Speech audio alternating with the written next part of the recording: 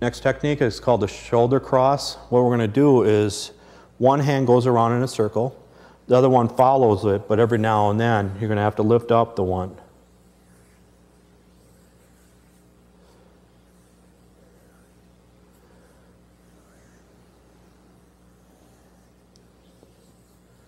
And then try go in the opposite direction.